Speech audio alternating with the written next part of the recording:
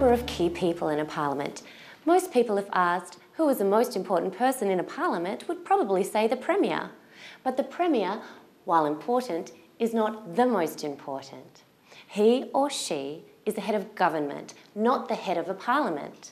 That position lies with the President of the Upper House, the Legislative Council, and the Speaker of the Lower House, the Legislative Assembly. Together, they are the presiding officers of the Parliament. In other words, they are joint number one. The Honourable Kate Doust is the first woman to be President of the Legislative Council in Western Australia. She has been a Member of Parliament since 2001, but she doesn't need to wear the wig. I think I said on my first day I'm very interested in seeing how we can uh, sort of uh, harness new technologies to further improve our work here, how we can use that to better engage with community. So I think that's an interesting discussion. Um, I'm very keen on looking at how we can, as I said earlier, make this a more family friendly environment for people, whether that's looking at how we uh, manage our standing orders to, with our sitting times, um, or whether we look at the types of facilities and arrangements we have to assist families when they need it here. Uh, very keen at looking at how we look at the long term future of this building and, and the needs of the Parliament. Um, we are currently spread out over a quite a large area, and so I would hope that you know we can have a, an appropriate discussion about you know uh, how we rehouse or rethink those arrangements. This is our key place of democracy in our state, and I think it should be uh, fully accessible by people in our community. Look at how we we fit with those changes. But who are some other key people? The term clerk may seem to describe someone with possibly a humble job. However, in a parliament, the clerk holds a very powerful position. I sometimes um, have people phone me up and um, uh, I, I tell them I'm the clerk and they say, well, put me through to someone who's in charge. Um, and I say, well, I am. And that's the real, I suppose, the misconception and the irony about um, the title of clerk. Uh, one of the roles of a clerk is to ensure that uh, the legislation or the bills that are passed through the houses um, do so in a proper and constitutionally valid way. So I'm the clerk of the Legislative Council, but I have another role as the clerk of the parliaments.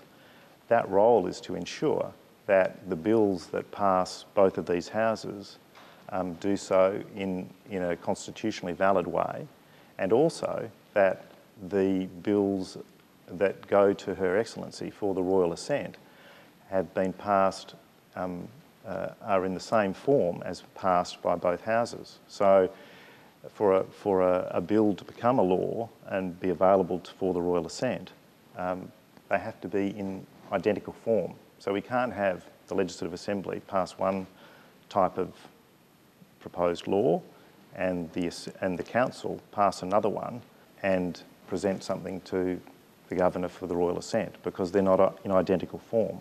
So there is a, a checking process that occurs, a very thorough one, um, that involves not only staff of, of my department but also Parliamentary Counsel's office one of the most important things is to keep proceedings going and to make sure that they're happening in the, in the correct um, manner, in the correct form, and in the correct um, order as well.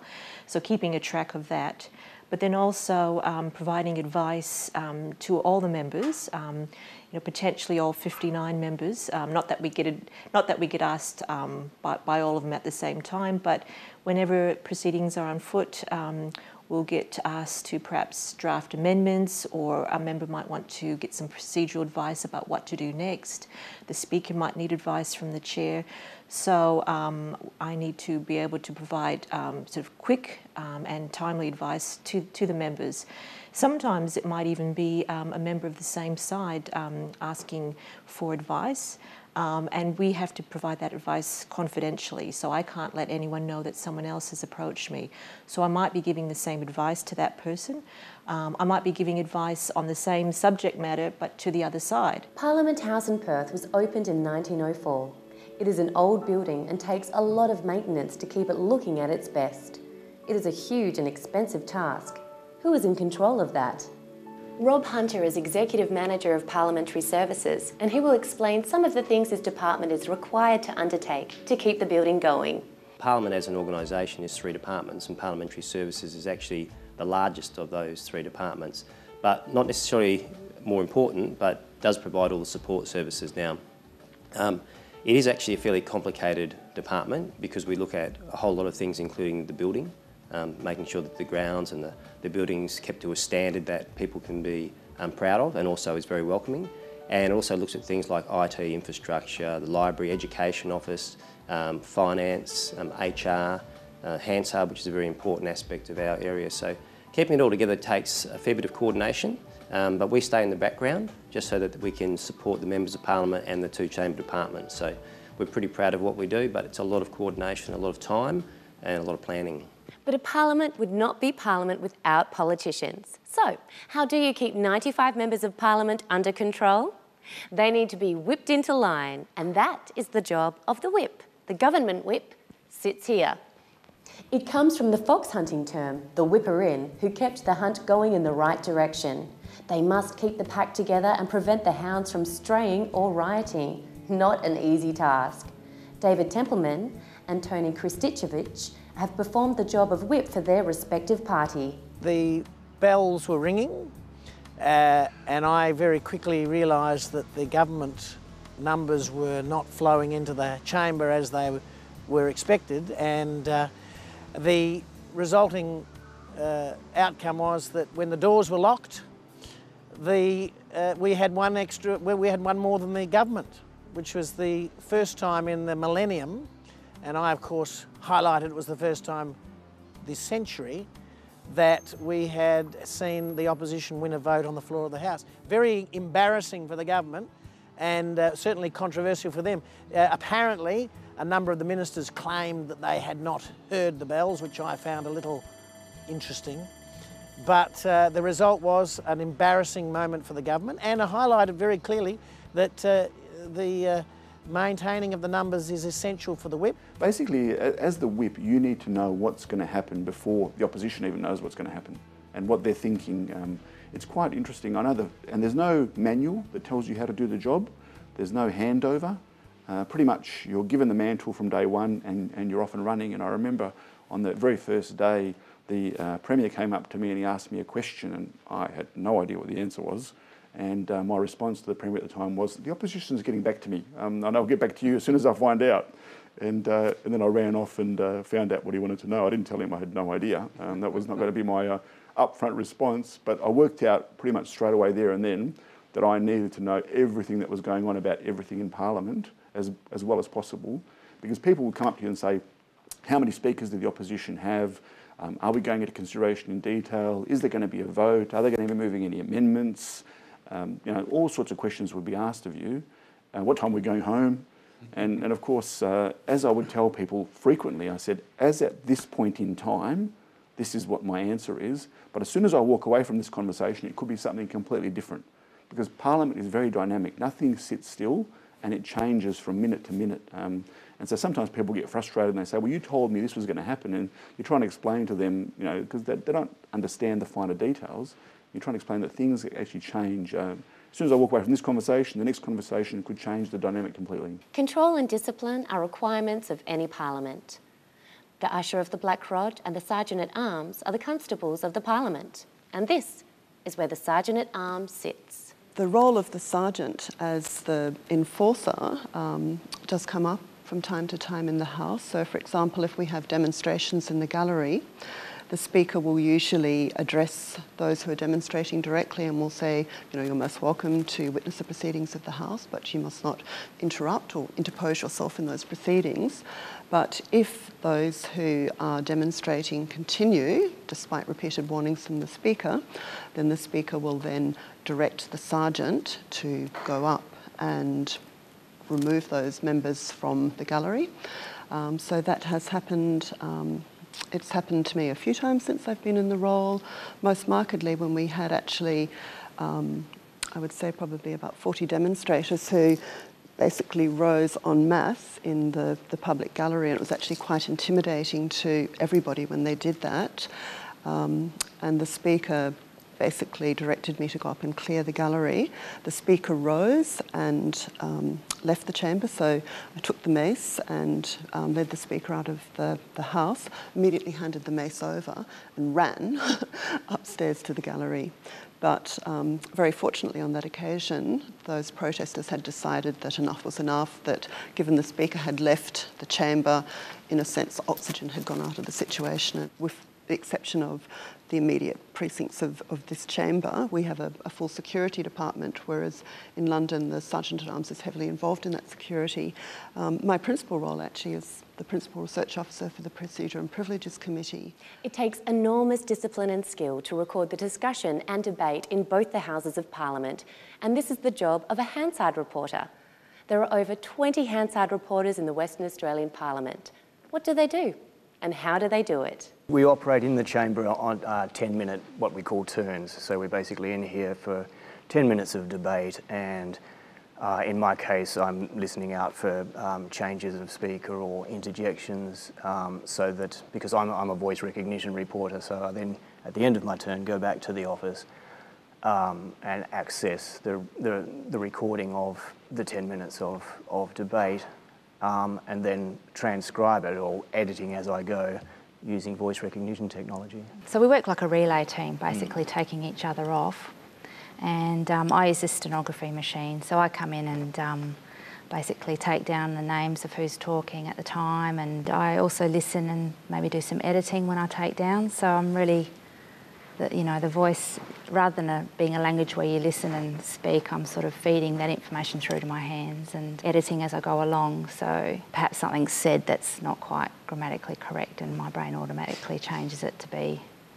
readable or make sense. That's part of the skill as well, is um, just making that an automatic process when you're a stenographer. If an army marches on its stomach, as Napoleon is reputed to have said, then so does a parliament. On a sitting day, members and their staff might arrive at the Parliament at around 9am and might still be there at midnight. Approximately 300 people work in the Parliament on a sitting day, and feeding them is an enormous challenge. Head chef Brett Barrett tells us how it is done. Busiest days are the, the, sitting days, the lunches and the dinners. There's sort of 400 in the building then, plus members, so we're looking at around 500. On top of that, there's all the meeting rooms, there's all the additional catering, cafeteria here. The food demand, the, the bulk volume is, is, is, quite high. Most chefs are in at 7, uh, and it's, it's four or five hours of solid prep to get cafeteria food, restaurant food, function, catering, all those foods prepped. Lunch service down here from 11 o'clock, in the restaurant from 12 two hours of lunch service. It's packed down. Orders, logistics, any uh, maintenance faults, OSH issues to deal with, answer some emails, and then do it again tomorrow. On a sitting day, we have the, the dinner service, an extra 120 covers upstairs, and on a table d'hote menu, and then probably another 100, 100 plus down here on top of our normal numbers. So then that, that prep day becomes a lot longer. We, we come down from lunch and we get back into evening prep service and, and we, we set up and, and go again.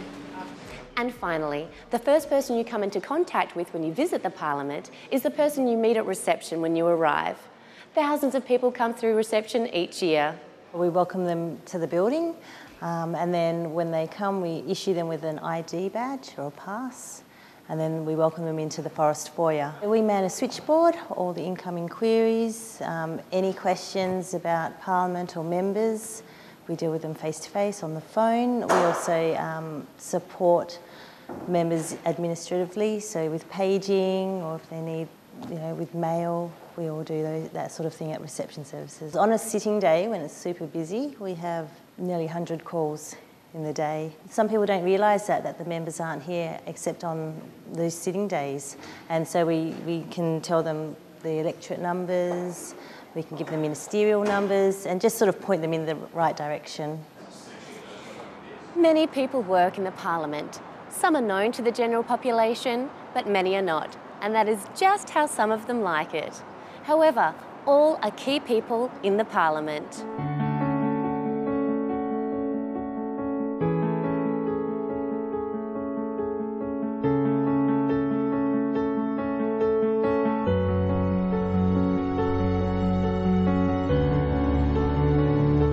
and also that the bills that go to Her Excellency for the Royal Assent have been passed um, uh, are in the same form as passed by both houses. So for a, for a, a bill to become a law and be available to, for the royal assent, um, they have to be in identical form. So we can't have the Legislative Assembly pass one type of proposed law and the, and the Council pass another one and present something to the Governor for the royal assent because they're not in identical form.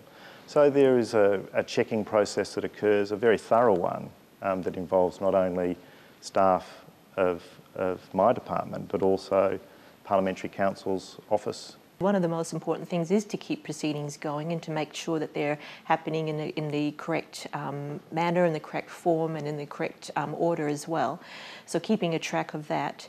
But then also um, providing advice um, to all the members, um, you know, potentially all 59 members. Um, not that we get not that we get asked by, by, all of them at the same time, but whenever proceedings are on foot we'll get asked to perhaps draft amendments, or a member might want to get some procedural advice about what to do next. The Speaker might need advice from the Chair. So um, I need to be able to provide um, sort of quick um, and timely advice to, to the members. Sometimes it might even be um, a member of the same side um, asking for advice. Um, and we have to provide that advice confidentially. So I can't let anyone know that someone else has approached me. So I might be giving the same advice to that person. I might be giving advice on the same subject matter, but to the other side. Parliament House in Perth was opened in 1904. It is an old building and takes a lot of maintenance to keep it looking at its best. It is a huge and expensive task. Who is in control of that? Rob Hunter is Executive Manager of Parliamentary Services and he will explain some of the things his department is required to undertake to keep the building going. Parliament as an organisation is three departments and Parliamentary Services is actually the largest of those three departments, but not necessarily more important, but does provide all the support services now. Um, it is actually a fairly complicated department because we look at a whole lot of things including the building, um, making sure that the grounds and the, the buildings kept to a standard that people can be um, proud of and also is very welcoming. And it also looks at things like IT infrastructure, the library, education office, um, finance, HR, um, uh, Hansard, which is a very important aspect of our area. So keeping it all together takes a fair bit of coordination, um, but we stay in the background just so that we can support the members of parliament and the two chamber departments. So we're pretty proud of what we do, but it's a lot of coordination, a lot of time, and a lot of planning. But a parliament would not be parliament without Premier. But the Premier, while important, is not the most important. He or she is the head of government, not the head of a parliament. That position lies with the President of the Upper House, the Legislative Council, and the Speaker of the Lower House, the Legislative Assembly. Together, they are the presiding officers of the Parliament. In other words, they are joint number one.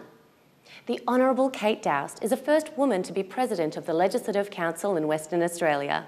She has been a Member of Parliament since 2001, but she doesn't need to wear the wig. I think I said on my first day I'm very interested in seeing how we can uh, sort of uh, harness new technologies to further improve our work here, how we can use that to better engage with community.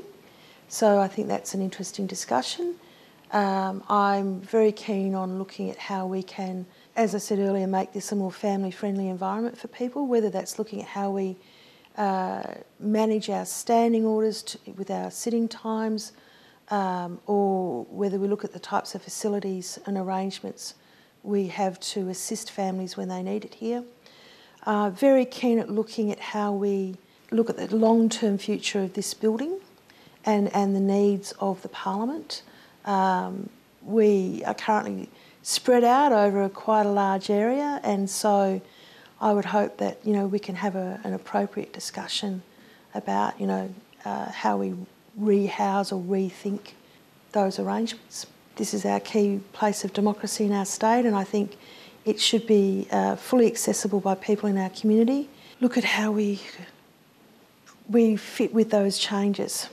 But who are some other key people the term clerk may seem to describe someone with possibly a humble job. However, in a parliament, the clerk holds a very powerful position. I sometimes um, have people phone me up and um, uh, I, I, tell them I'm the clerk and they say, well, put me through to someone who's in charge. Um, and I say, well, I am. And that's the real, I suppose, the misconception and the irony about um, the title of clerk. Uh, one of the roles of a clerk is to ensure that uh, the legislation or the bills that are passed through the houses um, do so in a proper and constitutionally valid way. So I'm the clerk of the Legislative Council, but I have another role as the clerk of the parliaments.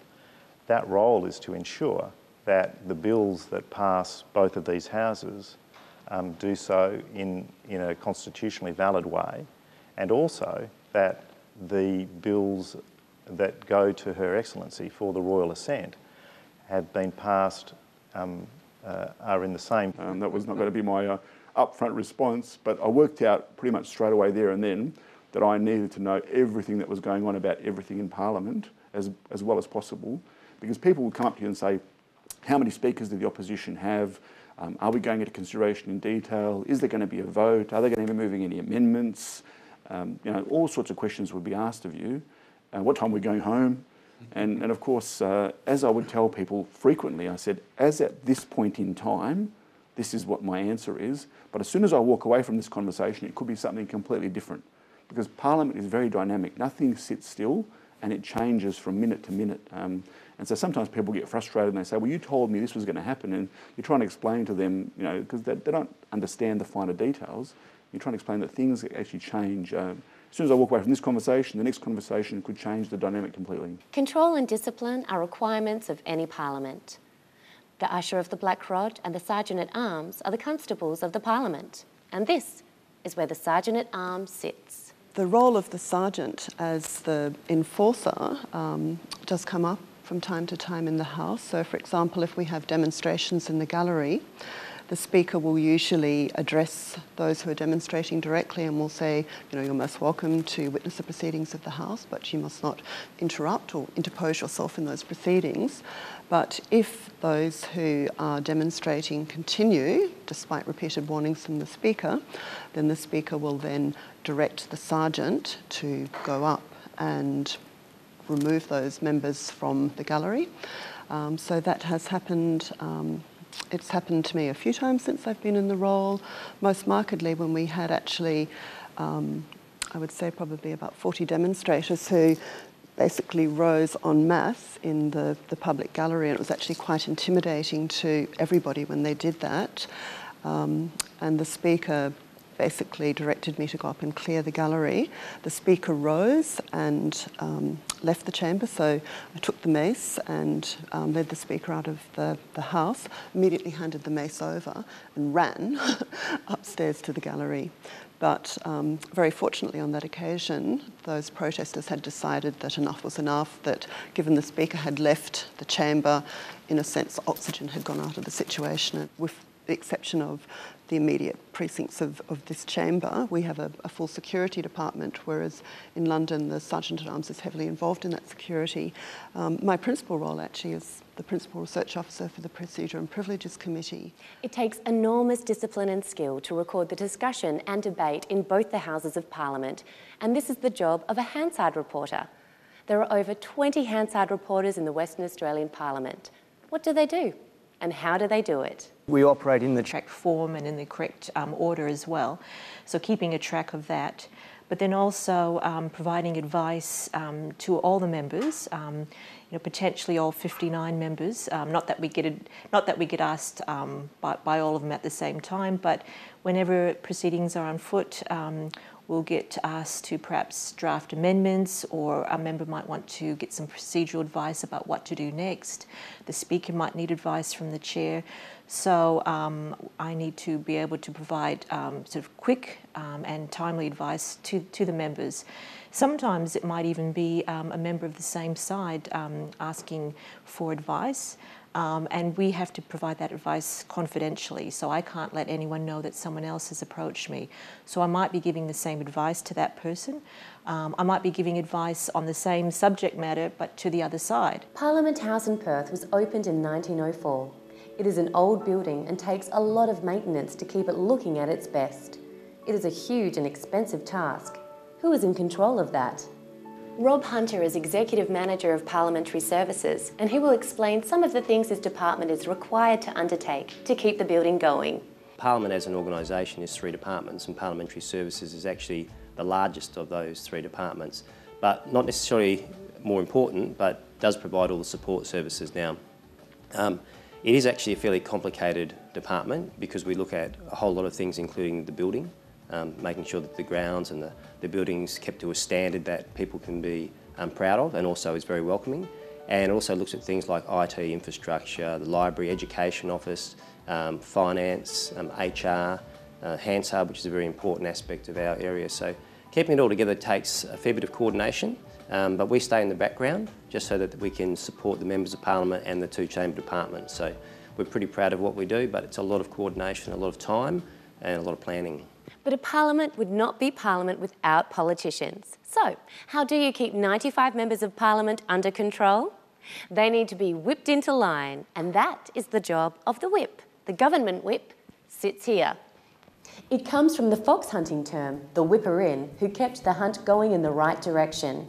They must keep the pack together and prevent the hounds from straying or rioting. Not an easy task.